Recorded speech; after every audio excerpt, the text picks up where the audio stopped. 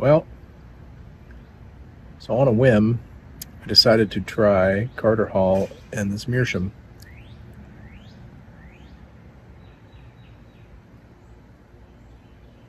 This is my no-name, well, I thought it was a no-name Meerschaum.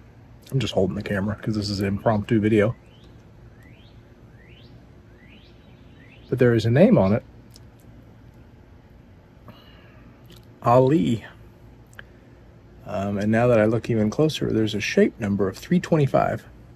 So, I don't know.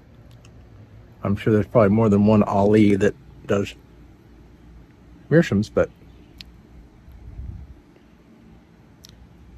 I have kind of reserved this pipe for the occasional English blend because it needs something uh, really strong for me to be able to taste the flavors because the Meerschaum to me just mutes the flavors so much.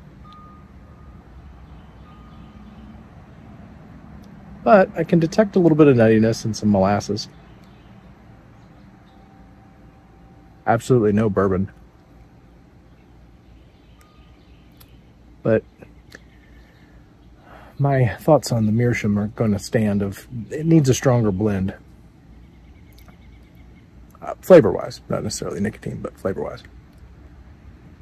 Hot day out today. It's going to get up to 86.